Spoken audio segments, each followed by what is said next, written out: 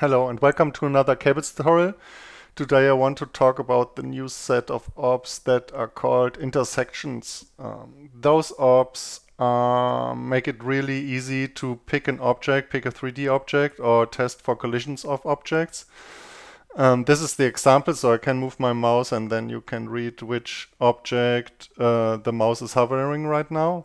And basically we will build this now. So here's my, my new uh, empty patch and I will create a, um, a op that is called intersection world. So I will search for intersection and then or intersect and then you will see uh, those three ops. Those are the main ops that we will work with. So I will add um, the intersect world op operator. And so this means everything from here on afterwards, uh, downwards, uh, is part of a of a world. So in uh, to a world I can add bodies. So I can add uh, the intersect body operator here, and then you will see we have a sphere on the screen now. So uh, you can change the shape here, and there will probably be more shapes coming up soon. So I can give it a name. So let's just call it a sphere. And uh, I can change the radius uh, and so on. And um, so now our world contains a sphere. Now maybe we want uh, the mouse to hover the sphere and then see that that it's uh, picking the sphere. So I can add uh, intersect raycast operator. So raycast means like from the mouse cursor, a line is uh, a ray is cast into infinity basically, and then we will look, and then we will test if the ray collides with the sphere. So um, so I add this this operator now. Um, now I need some uh, coordinates. Um, so I will add um, a mouse operator um, and just connect the x and y coordinates uh, to to this to this operator. So now what you see when I move the mouse, uh, there's already some activity happening. So for debugging reasons, it's really, really cool thing that we added in the last uh, releases. You can click the three dots menu here and select extend title. So this way, when uh, I I have a I have a, the sphere, you see the the output hit body name will become the name that I'm I'm picking. And now I will also see it in the in the patch. I don't have to click the operator. I can just see what's happening there. And this is a really really handy thing uh, for, for debugging or for visualizing uh, values. Um, so now we see our sphere. Um, so uh, we are seeing a sphere. We are not rendering a sphere really. We are seeing the sphere because the intersect world has this render uh, toggle on.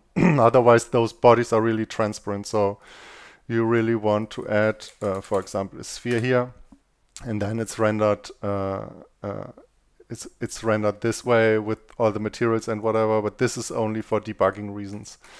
Uh, you you can enable it, but but it's really handy, so I will keep it um, keep it uh, toggled on. So let's add another body now. So I will create uh, another body again, and this time I will switch it to a box, and I will just call it cube. And um, now to move uh, body around, we just use the normal transform or tra translation ops. Um, so I can add a transform and I can move it around.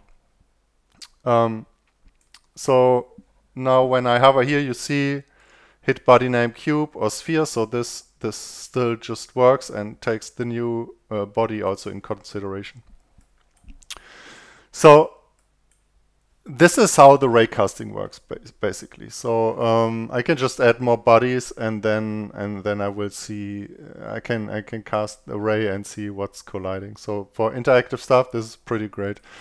But the intersection operators can do more. So as you see the intersect world um, it has an output port with the total number of bodies and it also has an array output with collisions. So let's just visualize this. Um, right now there's a collision happening because the cube is intersecting with the sphere. So when I use this transform and move it away, you see the collision goes away. So this is a really simple way to check if objects are overlapping or maybe you have a interactive character that runs through something and then you want to check if it's hitting this object or is in in a specific area or, or whatever. So um, this is an easy way to find out if if bodies are colliding or intersecting. So that's pretty cool. Um, but you can also have, it's a bit cumbersome to go through those objects and look which body it is and, and, and so on. So um, we have an op that's called filter um, intersections uh, where I can give a name or give two names and then we can filter out if those two objects are colliding. So for this we need some more objects. So um, as you see, the in the intersect body operator also takes a, an array has an array input. So to this, I can connect a array, for example, a random numbers array, and we want uh, x, y, z coordinates. So we choose uh, ABC, and this is a lot of uh, spheres. So let's just reduce them to three, maybe.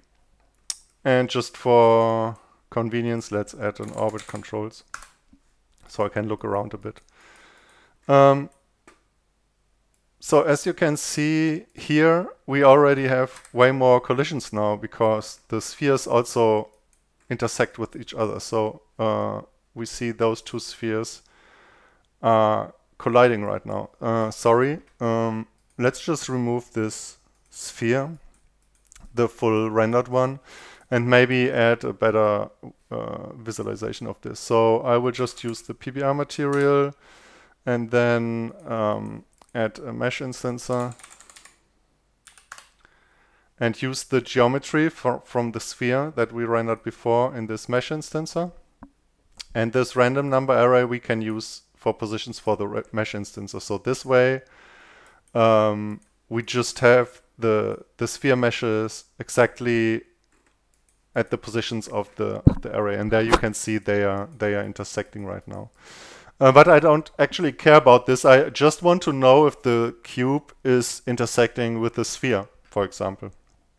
So um, for this, I can use the uh, filter intersections operator. So here I can say sphere and cube. And this will is this works like an email filter or something, right? You can you can uh, input a string and then say the the name has to start with sphere and the name of the other body has to start with cube. And if we have a hit, then it will output uh, this into an array and it tells you, yeah, we have a hit here in the colliding output. So let's look at this array. Um, so the cube has now two intersections basically and we see like those are those two spheres here. So when I move the cube around you see it's going away and then at one point we even have three intersections. So I can easily check if the cube is uh, intersecting. And just for comparison when I uh, this way I see all collisions. Um, there we have this sphere to sphere collision. So I could also filter for this. So we can add multiple filters uh, to filter those collisions. Um, yeah, so this is the first tutorial about the intersection ops. If you have any questions or anything, any remarks or would like to see anything else, uh, interactive examples or something, let us know and uh, we will try to do them. Thank you very much. See you.